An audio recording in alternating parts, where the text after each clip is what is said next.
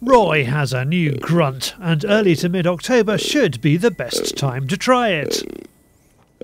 Word on the street, well, the forest path, is that the fallow rut this year is a bit of a hit and miss affair, but Roy is tooled up and ready to hit, not miss. It's five o'clock in the morning. Well, no, it's not. Actually, it's six o'clock in the morning. Five o'clock, we've been very silly. No, six o'clock in the morning, and we are hoping that the fallow buck, and we are very early, and we are hoping that the fallow buck rut is on. So we have grunter at the ready. We've got antlers at the ready.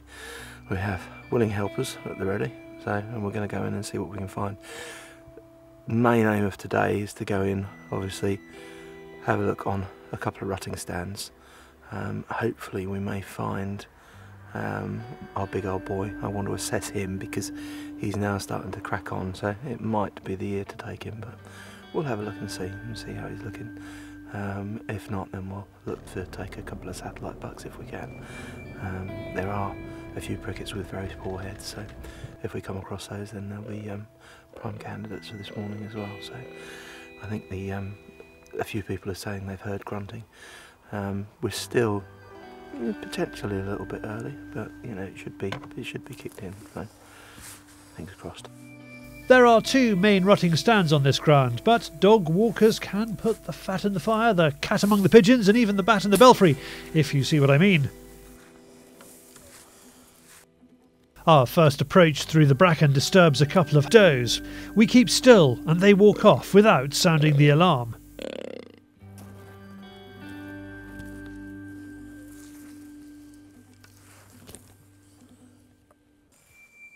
Roy takes it slowly, and when within a hundred yards of the stand, he starts with the antlers, simulating bucks fighting.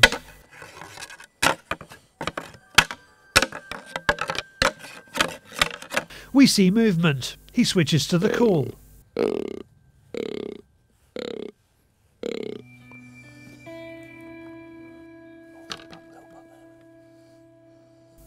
Suddenly, there's interest from in front and behind. We switch to IR sensitive mode to get a better look at a spiker that's just 50 yards over our shoulders.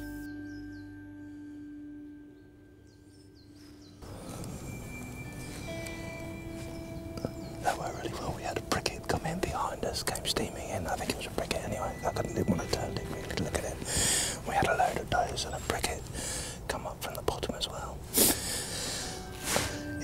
like the rut hasn't kicked off on this particular stand, so rather than upset it, every, upset everything, we're just going to let them trickle back into the bracken and settle back down, and we'll come back into this stand in a couple of days and see if it started to pick up. But no, that was really encouraging. I love watching it. Absolutely superb, and that was a wonderful response. Seeing all the does come up. We'll clear out of here and go and try another stand.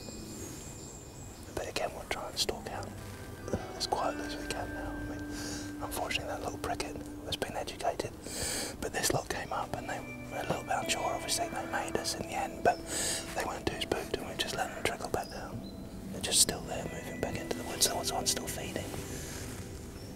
There's more movement in front, and Roy thinks he should have had a shot.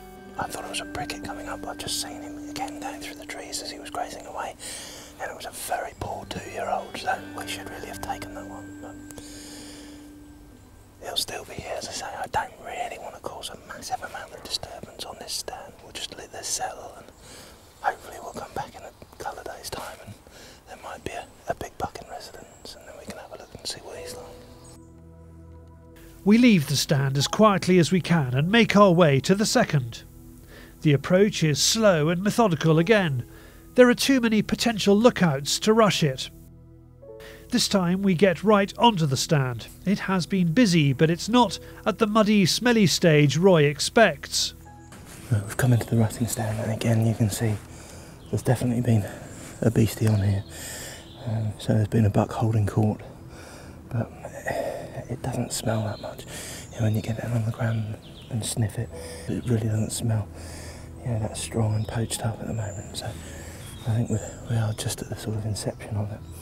It's quite a tricky little stand to get into this one because he's got nice little banks going up to the woodland there and fairly open view out.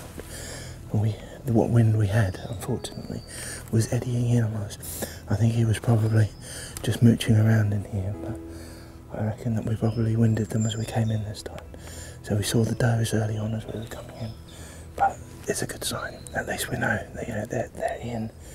Um, and hopefully another few days, and if the temperature drops, if we get a frost, it'll be lovely, and it might kick off again. So just have a look out on the. Um, we've got a, a sort of clearing out here, so we'll just make sure there's nothing just sneaking along the edge of the woodland there.